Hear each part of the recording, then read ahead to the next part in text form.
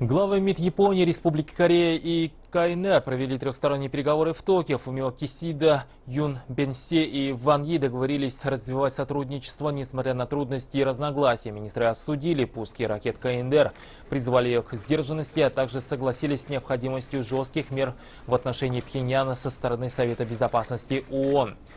Кроме того, они договорились о возобновлении переговоров по заключению трехстороннего соглашения о свободной торговле. Нынешние трехсторонние переговоры восьмые по счету, но в Токио они проходят после пятилетнего перерыва. Это связано с охлаждением китайско-японских отношений из-за спорных островов Дяоюйда и с ухудшением японо-корейских отношений из-за отказа Японии признавать военные преступления периода Второй мировой войны. 对促进东亚经济发展 мы обязаны стимулировать экономическое развитие, укреплять сотрудничество и поддерживать мир и стабильность в регионе. Китай настаивает на необходимости избегать ошибок прошлого для того, чтобы строить будущее.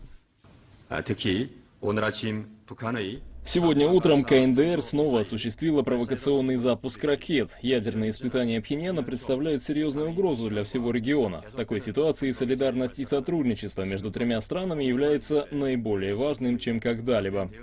Э, Япония категорически против запуска ракет КНДР и хотела бы совместно с Китаем и Республикой Корея призвать Пхеньян к ответу перед международным сообществом.